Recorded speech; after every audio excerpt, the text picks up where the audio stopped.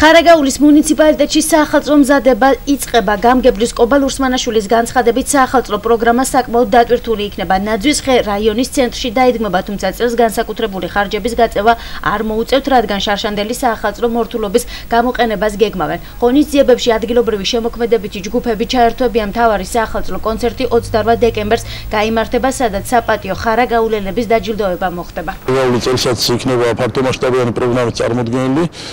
პრაქტიკულად ნამდვილად დაწყებულია რაიონის მომზადება შესაბამისად სპეციალური რაიმე ხარჯების განსაკუთრებული ხარჯების გაწევა არ მოგვიწევს შარშანდელი ატრიბუტიკა შენახული გვაქვს რომელიც მორთავს მთელს რაიონს. კეთილმოწყობის სამსახური უზრუნველყოფს ამ ყველაფერს.